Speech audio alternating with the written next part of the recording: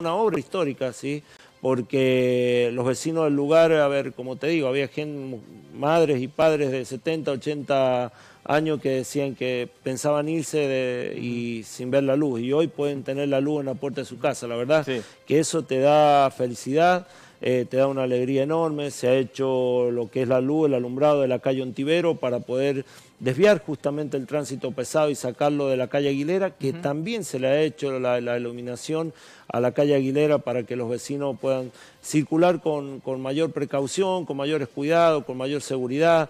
La verdad que todo esto bueno, se va haciendo con mucho esfuerzo. Pero se ha llevado también iluminación a, distritos, eh, a sectores que sinceramente... Eh, olvidados de nuestro departamento, como siempre lo digo, y que por gestiones tras gestiones se pidió que se aumentara algo de luz y hoy vos podés ir en la noche y la verdad que queda muy bonito, como es el sector de la Punta del Monte, el calle Conguella, la calle Nacional, la calle Velázquez, a ver, diferentes calles que hemos ido iluminando y mejorando eh, permanentemente eh, para que justamente todo con iluminación LED, ya sea la pantalla o el foco LED, pero al fin es una luz blanca que, bueno, van a tener eh, eh, mejor iluminación. Obviamente trabajando con los pedidos que también la provincia energía nos pide, nos requiere, justamente con los medidores correspondientes, cada uno de los lugares, que, también antes no, no, se tenía y nosotros vamos dándole eh, ese grado de responsabilidad también eh, como gestión y creo que eso también nos permite seguir avanzando. Además de todos los barrios que se iluminaron con iluminación blanca, la Villa Cabecera se iluminó eh, casi en su totalidad con, con, iluminación blanca, los vecinos por ahí a lo mejor no lo lograron notar, pero se ha puesto en la mayoría lo que son pantallas y focos en diferentes sectores de lo que es la Villa Cabecera con, con ese tipo de iluminación. En estos momentos estamos trabajando para la, alegría de los vecinos de la calle La Prida, ahí en, eh, desde la calle Nacional a San Juan, van a contar con una nueva iluminación que en estos momentos están trabajando. Yo creo que a miércoles, jueves ya, ya tenían eh, ah, la, nueva iluminación de lo que sería un sector más de lo que es la Villa Cabecera. Luego pasaríamos a la calle Alén, una calle donde está el colegio, el colegio secundario, una de las cosas principales que nosotros tenemos y que también no cuenta con la iluminación correspondiente, también la vamos a iluminar desde lo que es la calle Nacional hasta la calle San Juan. La verdad que se hace con mucho esfuerzo, se trabaja muchísimo, con un gran equipo de trabajo y que estamos pensando y haciendo las obras en base a lo que los vecinos nos piden. Sí, son eh, detalles quizás que eh, el vecino lo, pide, como bien lo decía, pero que eh, quizás se tomaba prioridad a otras cosas, pero esto era muy necesario en realidad, lo que es la iluminación, lo que es la seguridad, poder salir a la calle y transitar con una buena iluminación. La verdad que sí, la verdad que también eh, tenés el ahorro, en el ahorro que vos podés generar con el tema de este tipo de iluminación, ¿no? Pero los vecinos creo que merecemos estar, yo soy un vecino más de Angaco, a ver, merecemos estar mejor, creo que debemos ser escuchados.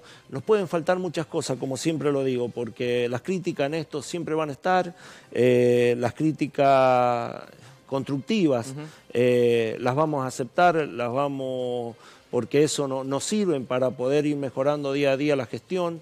Eh, creo que muchas de estas obras que hemos nombrado eh, se han hecho justamente escuchando al vecino.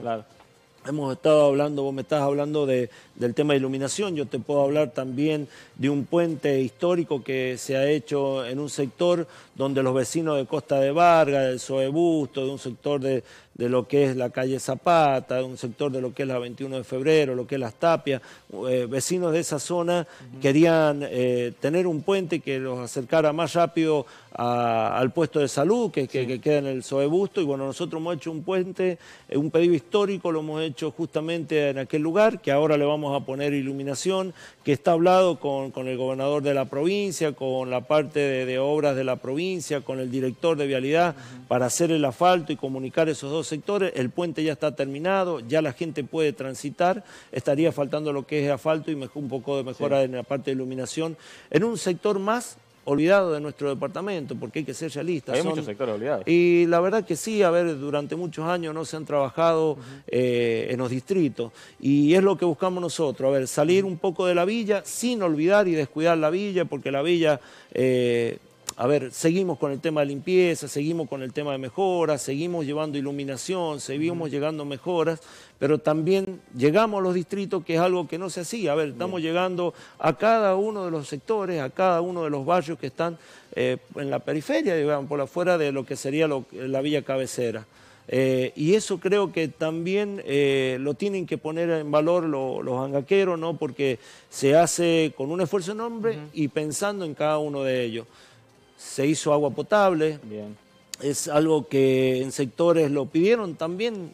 A ver, te soy sincero, a ver, todo lo que yo te estoy hablando es algo que, que el vecino lo pidió durante muchos años. ¿Y a qué se debía que no se eh, podía realizar o no la verdad, a gestión gestión, sinceramente, a saber escuchar, a saber escucharnos como, como vecinos, a, ver, eh, a no mantener esa diferencia o esa separación entre el intendente y el vecino, a ver, en ser más, más unidos, en trabajar en comunidad.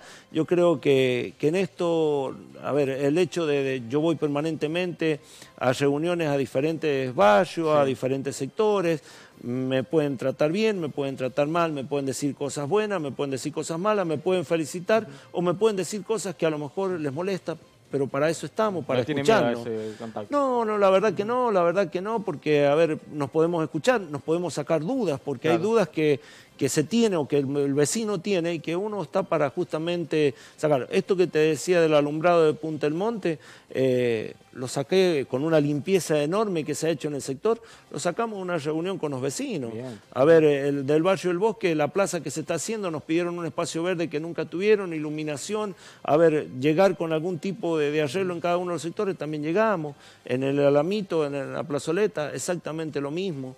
Por eso te digo, a ver, estamos escuchando y vamos avanzando. ¿Que falta mucho? Sí, es verdad, falta mucho, pero trabajamos permanentemente. El tema del agua potable hicimos una inauguración con, el gobernador y con su equipo de trabajo eh, del agua potable en un sector de lo que es la Punta del Monte. Sí, eh, una obra bastante importante, más de 3.000 metros de, cañería para 15 familias. Eh, si uno lo pone en el valor económico, y es probable que no se recupere nunca. ¿Sí? Pero si uno lo pone en el valor humano, porque esas familias tienen el mismo derecho que todos los demás vecinos. Sean Entonces, sean 20, sean 50. Sean 15, sean 20, sean 50, y es ahí a donde apuntamos nosotros como gestión.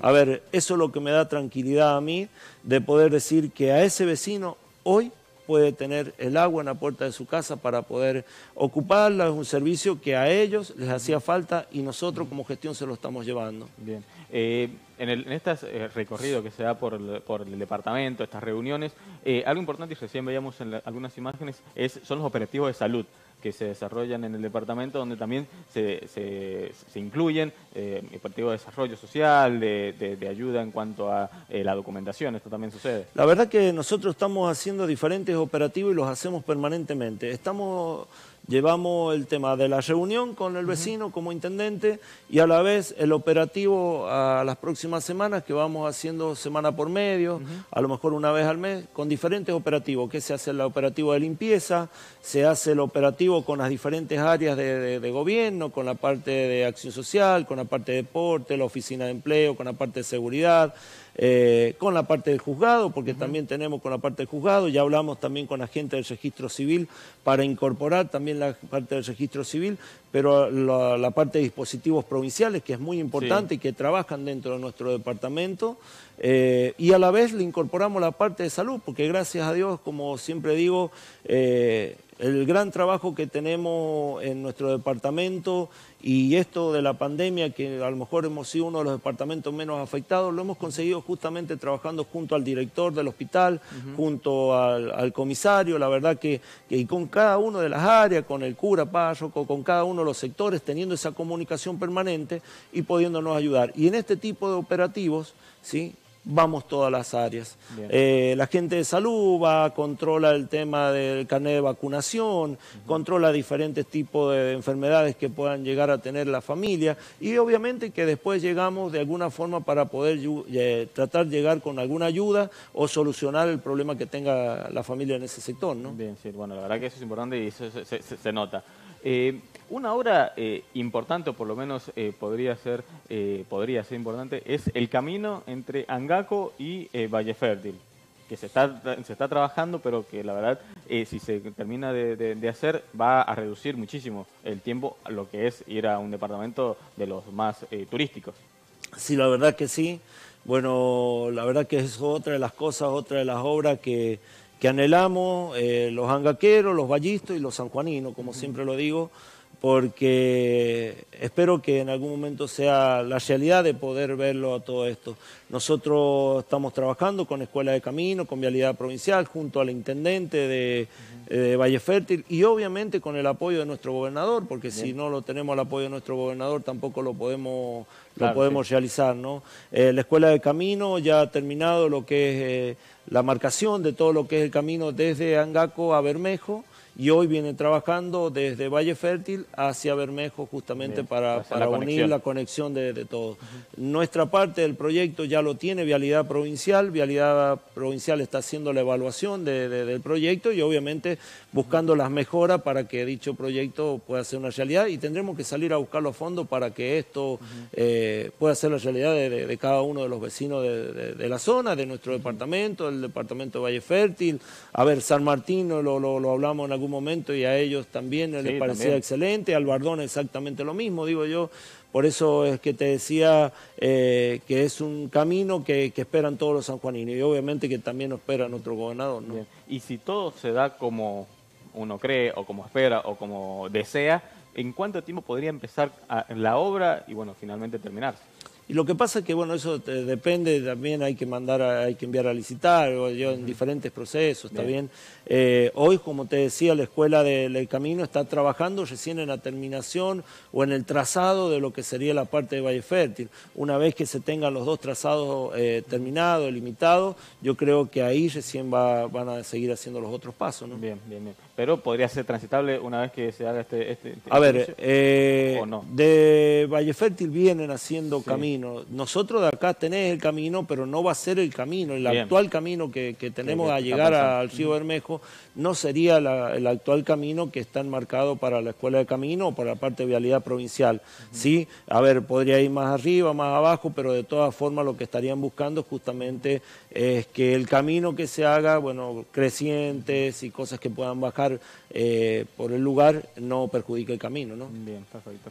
Eh, recién, Intendente, hablábamos un poco sobre eh, lo que el vecino le pedía, eh, los trabajos como puede ser iluminación, plazas, veredas y demás, pero algo que pide en todo momento y más en este tiempo de pandemia es trabajo, con una nueva oficina de trabajo, una oficina de empleo.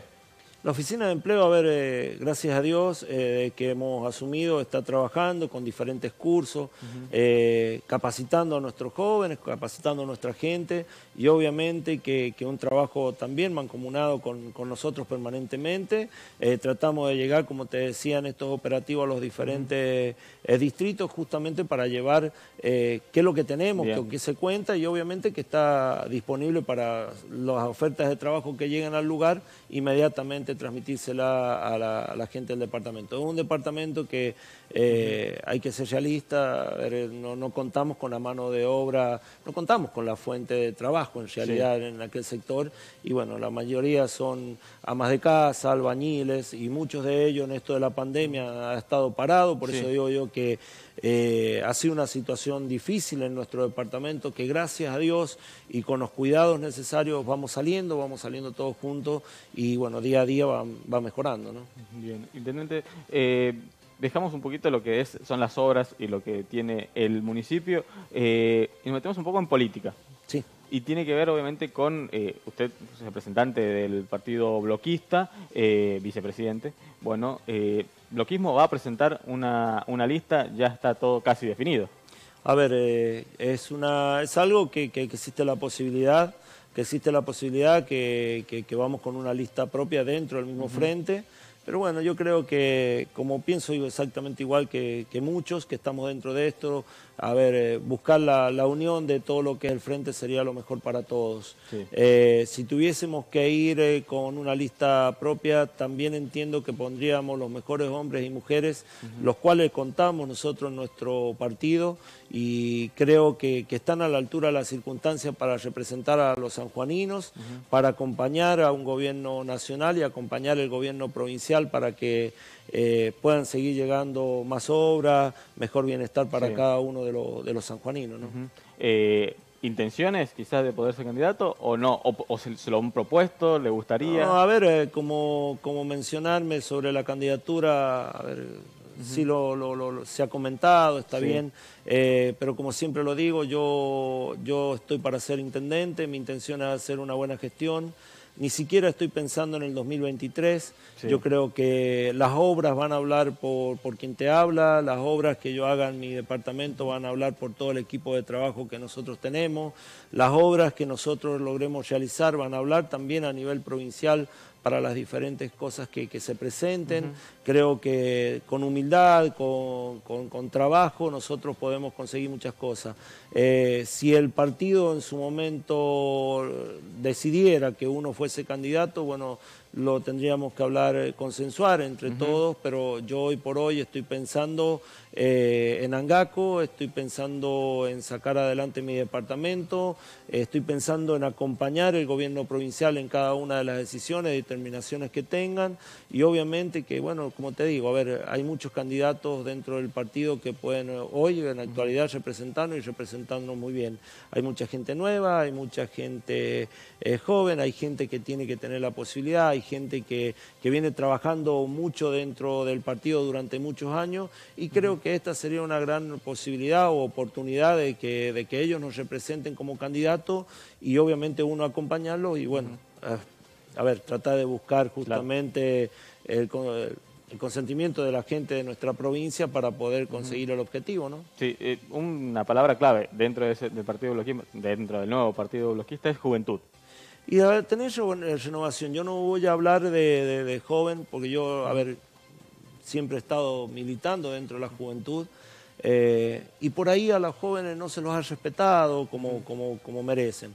Y yo creo que en todo partido merecen, justamente en el bloquismo eh, es un partido es un partido grande, un partido histórico, un partido que sinceramente ha tenido grandes dirigentes jóvenes y que por ahí no tuvieron la posibilidad en su momento. Quien te habla, a ver, eh, ha militado hace muchos muchos años, ¿no? Y bueno, recién ahora, después, no es que sea un viejo, pero después de grande, eh, tuve la posibilidad de llegar. Sí, podría haber llegado con 25, con 24, si, me daban el lugar, podría haber llegado mucho antes a una concejalía, mucho antes ocupar un lugar de relevancia. No se dio en aquel momento, yo no pienso de la misma forma, tengo otros pensamientos como dirigente, creo que los jóvenes no solamente son el futuro, sino que son el presente porque así lo, lo, aprendí yo en caminar, en transitar, y creo que, es lo que tenemos que apostar nosotros desde, desde la política, desde el partido, tenemos que apostar que los jóvenes son eh, el futuro y el presente, pero a lo más tenemos eh, los mayores que, son grandes dirigentes, eh, y que la verdad que nos pueden dar una gran enseñanza y acompañar. Algunos de ellos también son, creo que la capacidad que tienen pueden estar al frente de una lista tranquilamente. Y bueno, pero depende justamente de, lo interno, una vez de que nos sentemos a hablar con Luis, que nos sentemos a hablar con todo el equipo de trabajo, con, todo lo que sería la parte bloquista, y depende de eso que nosotros podamos llegar eh, a un acuerdo también con el, con el Frente Todo, porque bueno, la idea de esto no es mirarnos de reojo. La idea de esto es justamente, si se hace una lista, es consensuar justamente para que la lista ganadora sea apoyada y respaldada por la lista que le va a tocar acompañar a posterior. Y de eso se trata, ¿no? Bien, si bien falta tiempo, obviamente, para los candidatos, ¿cuándo creen que podrían tener ya definido que van a presentar una lista? Bueno, la verdad que, como te decía, a ver, son cosas que, ayer teníamos una reunión por Zoom, eh, no se pudo hacer por por diferentes cosas, por diferentes motivos, pero yo creo que en el transcurso de la semana a lo mejor podemos tener eh, algún tipo de novedad. ¿no? Bien, bueno, pero de, todas formas termina siendo importante el apoyo que se le da del Frente de Todos, del gobernador más precisamente, en darle la posibilidad al bloquismo de presentar listas y, no a otros eh, grupos, otras asociaciones dentro del Frente. Dijo mm, dos, no más y el bloquismo está entre la posibilidad, por lo menos. Y bueno, está dentro de la posibilidad porque siempre se dijo, a ver, el, bloquismo es la segunda fuerza dentro del frente. A ver, la vicepresidencia la, siempre la tuvo ocupada por el, por el Partido Bloquista. La verdad que creo que, merecemos tener este espacio, merecemos tener esta oportunidad, como la merecemos tener ahora, como también si este frente continúa, porque lo viene haciendo excelentemente bien, con defectos y virtudes, porque somos todos seres humanos los que actuamos dentro de la política. Eh, a un 2023 también sería, sería importante que en todos los departamentos estemos los candidatos bloquistas eh, junto al candidato justicialista y bueno, la mejor lista que acompañe a la que tenga que acompañar. ¿no? bueno. Bueno, Intendente, le agradecemos entonces eh, por la presencia y por bueno brindarle también toda esta información al, vecino que también le, sirve conocer algunas obras que se han estado realizando. No, sí, la verdad, por eso, te, como te decía, a ver, como obras, nos han quedado muchísimas por contarte. Eh, tuvimos una recorrida de obras hace unos días con periodistas y la verdad que se vinieron muy contentos porque la, mm, se sorprendieron ellos mismos de, la, de las obras. Se compró un inmueble cerca del municipio que ahora pertenece a lo municipal. ¿Sí? donde funciona la, oficina de empleo, donde va a funcionar el área social y dispositivos provinciales, donde está funcionando el correo, pero que no tiene baño, que no tiene nada, ya tiene las oficinas terminadas. Vamos a hacerle baño al sector, van a tener una sala eh, de espera de cada uno de nuestros abuelos, principalmente que van a cobrar allí o hacen cualquier tipo de trámite, de los vecinos del departamento van a tener un mejor lugar para para ser recibidos en aquel sector y creo que son obras que, demandan. Pero más allá de eso, a ver, esto es una noticia ya, una noticia muy buena para los vecinos de las tapias. Allá en aquel sector solicitaron eh, el tema de la, de la sala velatoria y la sala velatoria es un hecho, vamos a comenzar eh, en días, ah, se va, ya viene la licitación. Eh, es algo que ellos pedían tener porque podéis imaginar que el, distrito, a ver, el departamento en sí creció mucho, el distrito de Las Tapias creció mucho y creo que merecemos tener esa sala en ese lugar y la vamos a tener, ya, ya estaría eso para, para licitar. La Casa de la Cultura, que es otra noticia buena que está a punto de salir, que no, nos quedan trámites eh, para ya culminar, para poder hacer licitación también. Bien, bueno, Casa de la Cultura que no todos los departamentos tienen. No, no, no, y nosotros, gracias a Dios, lo, hemos presentado, lo presentamos en Nación con el respaldo de la provincia y hoy podemos decir que Nación no, nos está cumpliendo y que la provincia nos está cumpliendo, que el presidente nos está cumpliendo y que nuestro gobernador, obviamente, todo su equipo de trabajo nos está respaldando para que este tipo de obras lleguen a un departamento olvidado, a un departamento que quiere crecer igual que toda la provincia. Bien. Bueno, muchas gracias, Intendente. No, gracias a ustedes. Que tenga buenos días. No, gracias. Bien, pasaba entonces por eh, Diario 35 el intendente de Angaco, Carlos eh, Mazapc. Nosotros vamos a una pausa cortita y ya volvemos con más Diario 35.